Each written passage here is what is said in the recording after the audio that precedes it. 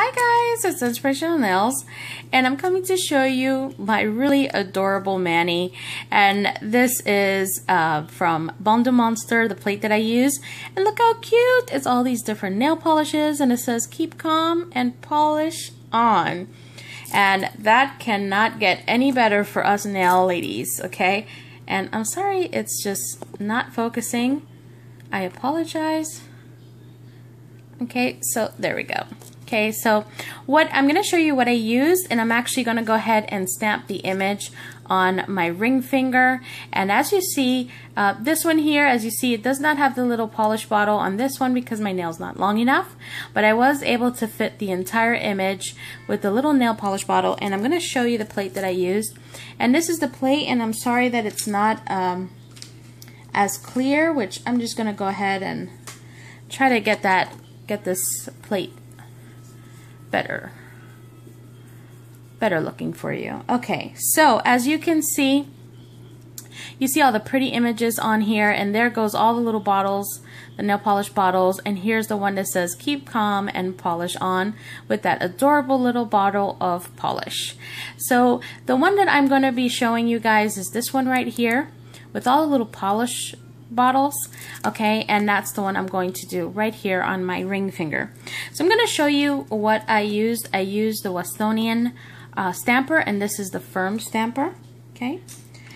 And I also used a dotting tool. You can pick any dotting tool.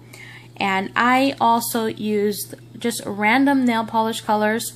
I wanted to bright colors to pop. So most of the ones I used were sinful colors besides like two um, and this is the pink one, and this is uh, Fusion Neon. Okay, this um, really, really neon orange, and it's called Summer Peach. I have no idea why they call it Summer Peach, but that is the name.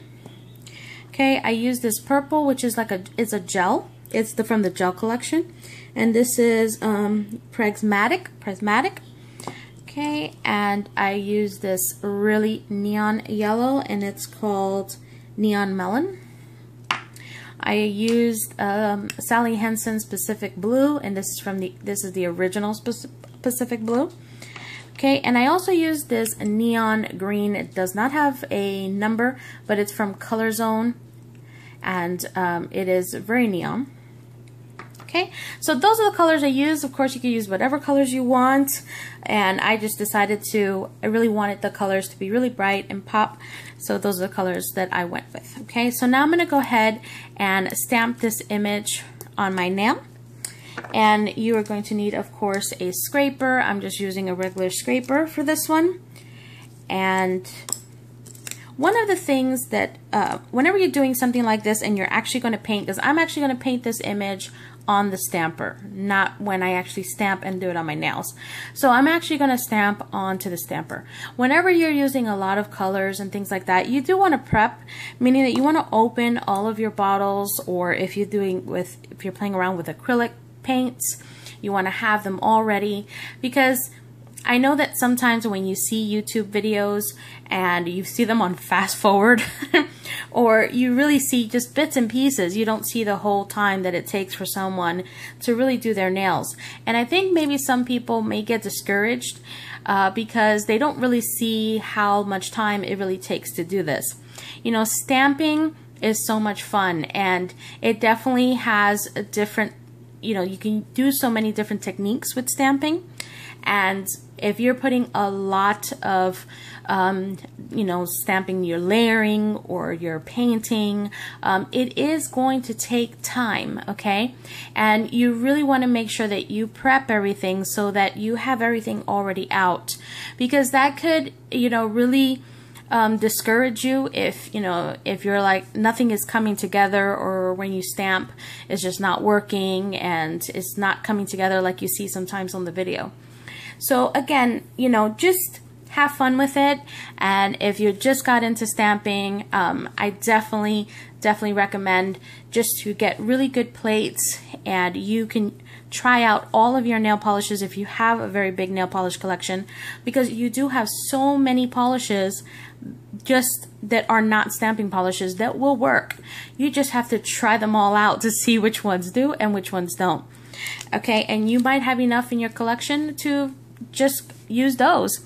Um, if not, then um, you can buy different types of uh, stamping polishes from all different kind of companies.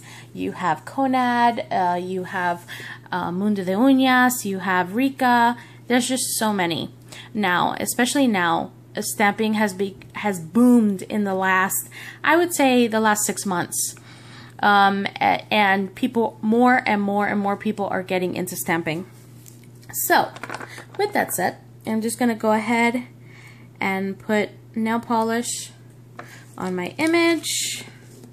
I'm going to swipe and pick up the image and there it is okay so now um, I'm going to go ahead and just move this to the side okay and here's my little palette here my little color palette and I'm just gonna go ahead and just dab where the nail polish colors are um, with the nail polishes and then I will be back.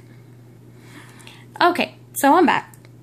Okay, so now you don't need much. Again, you're just taking your uh, dotting tool and you are going to paint inside of the open areas to paint the little nail polish bottles. Okay, and of course I'm using a dotting tool. Okay, and I'm going to go ahead and I'm just going to do just a couple. What I did was, is I think I did two of each color. And here I'm doing the purple.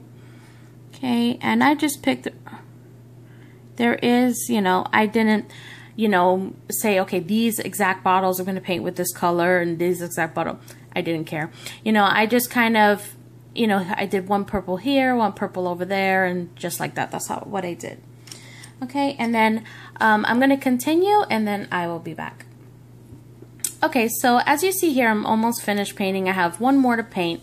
Um, one of the things I do want to tell you is that whenever you're painting on the stamper, you do want to make sure, you know, one of the things I would recommend is like the neons, not to use the neons as much. You know, you got to be really careful when you're using the neons because it may pull off the image when you're actually stamping because the neons dry very quickly. So you do want to make sure that, you know, again, when you're playing around with um, polishes and seeing what works, what don't work.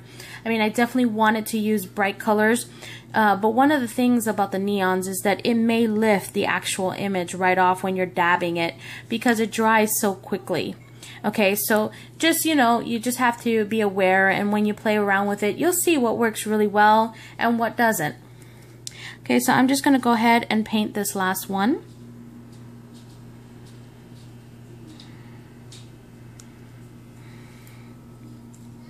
Okay, and now we're just going to just give it a few to let it dry and of course, this doesn't take, is not going to take a long time uh, because, you know, it's not that much polish on here.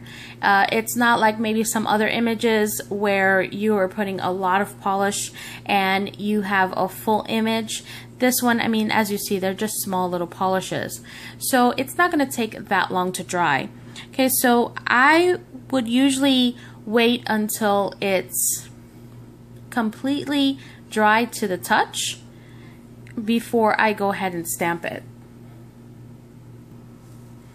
Okay, so now that it's dry, and I can tell because you can see how, you know, um, glossy it is where you can touch and of course nothing transfers to your finger, you know that you're ready to stamp. So now when I actually stamp, everyone has their own technique. Um, with this image, I'm just going to kind of squish my finger and then um, slowly lift off from one side, okay? So I'm just going to line it up.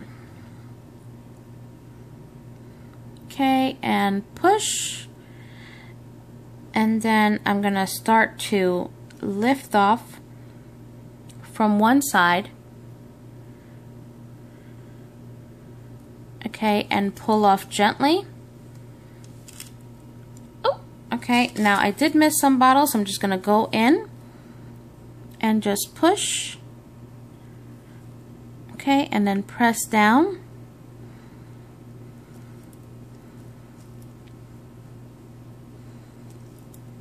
Come on. And again, I'm just pushing down and rolling off, okay? And I didn't get this one down here, so I'm just going to try to push it on. If it doesn't, it's okay. So there we go. Okay, so now what I'm going to do is I'm just going to clean up the edges. Okay, and I'm just going to take my brush and go around the edges and clean up.